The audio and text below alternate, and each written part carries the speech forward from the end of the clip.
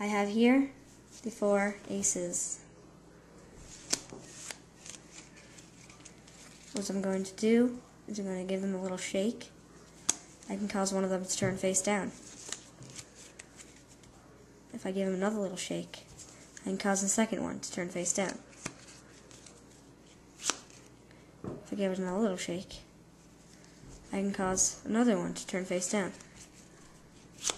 And I'll give it one more little shake.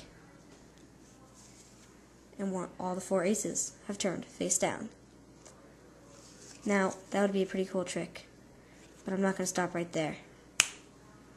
Instead, I'm going to turn them into jacks. Alright, that was Mercury Aces.